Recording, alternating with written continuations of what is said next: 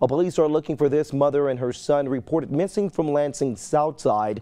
Officers believe 34-year-old Daniela Marie Steinler and her 5-year-old Aubrey Nissan Hall are traveling together.